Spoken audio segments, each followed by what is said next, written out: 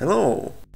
In this tutorial we'll take a look at how to interface a video camera to your FPGA using ADV7180 video decoder. In this video I'm using DE1 SoC board from Terasic.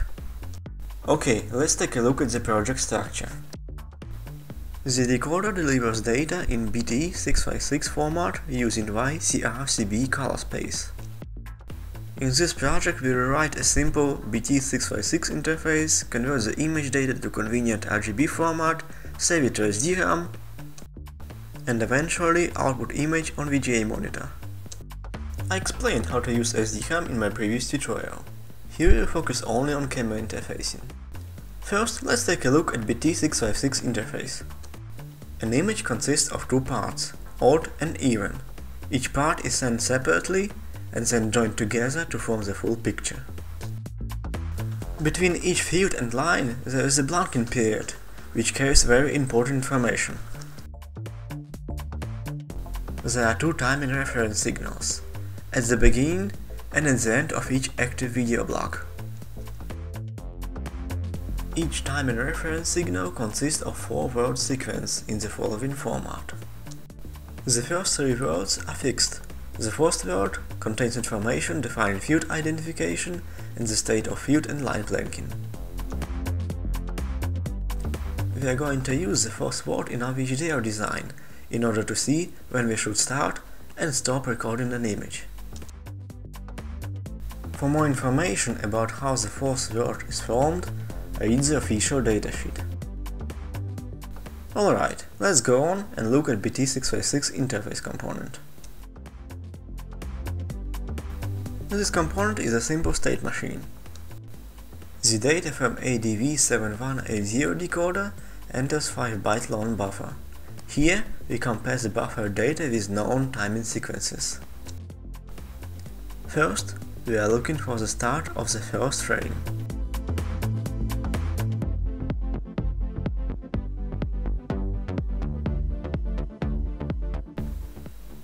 After it is detected, the state machine goes to the next state and looks for the start of active video.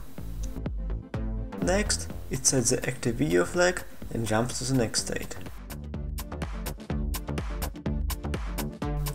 From this state, it can detect the end of active video and go back to the previous state, or it can detect the end of current field. If the end of the first field is detected, we repeat the whole process for the second field. While active video flag is set, we convert the video data to RGB format and save it to SDRAM. On default, ADV7180 outputs video in YCRCB422 encoding. After start active video flag, we receive color components in following order. Each Y component with its nearest neighbors forms one pixel. To convert YCRCB to RGB, we'll use following formula. Since I don't want to use floating point mask on FPGA, I'll replace such numbers as 1.371 with simple fractions. Multiplying a number by 11 and then dividing by 8 give us 1.375, which is pretty close to the desired number. Ok, here is YCRCB to RGB converter. The converter has a pipeline construction. In most of the cases, we create a pipeline by dividing a complex operation into simpler operations. As you can see, the output of one element is the input of the next one. Such design allows operation at much higher speed. The additional enable signal goes through the pipeline and signals if the output of the converter is valid.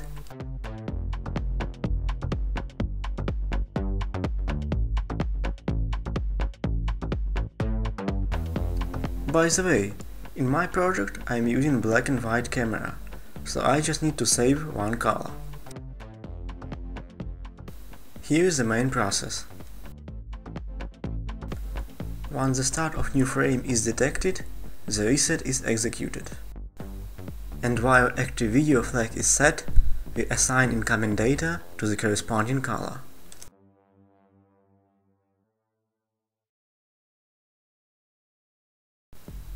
Each time we receive the Y component, we set the enable flag.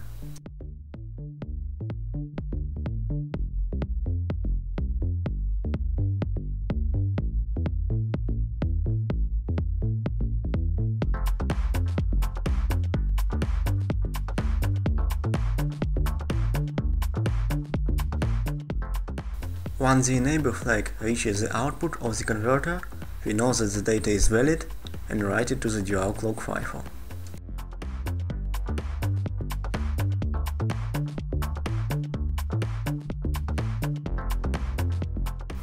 This process is transferring the data from the FIFO to SDRAM.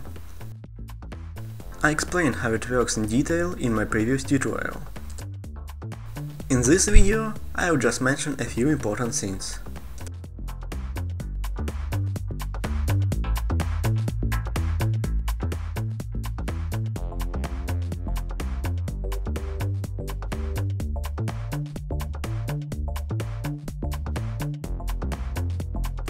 While the FIFO is not empty, transfer data to SDRAM.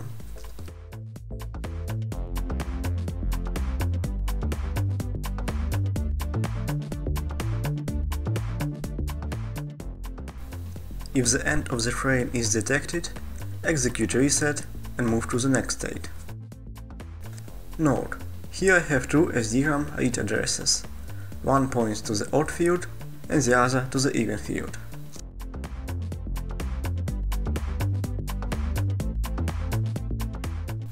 In my project, I don't have a real frame buffer or a smart SDRAM multiplexer. As a result, the monitor will flicker while a new image is written to SDRAM.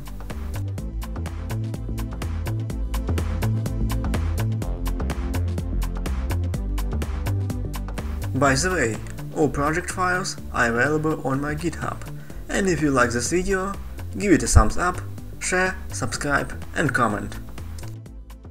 Now it's time for fun. I connected the CCD camera to my old cheap telescope. Here is the moon. The screen flickering is not so bad as it seems on the video.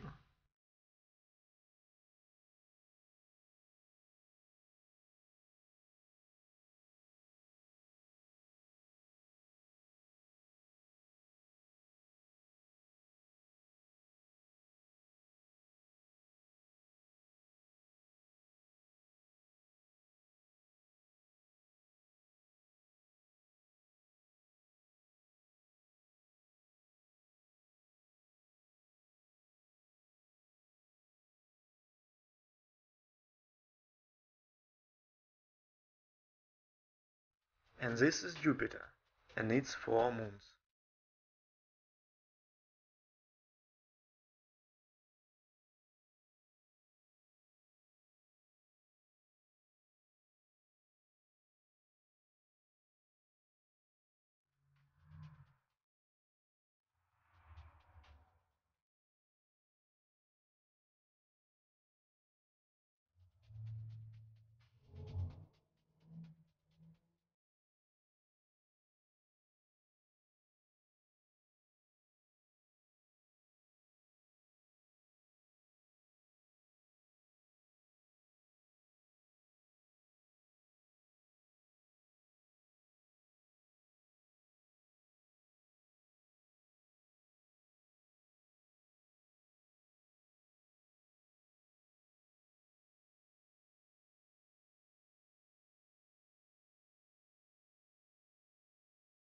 And finally the Saturn.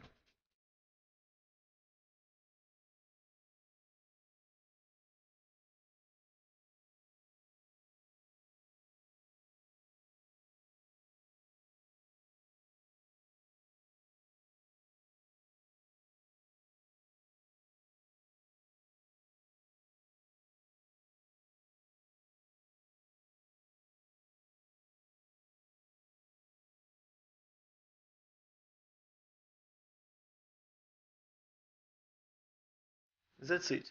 Hope you enjoyed this video. See you the next time.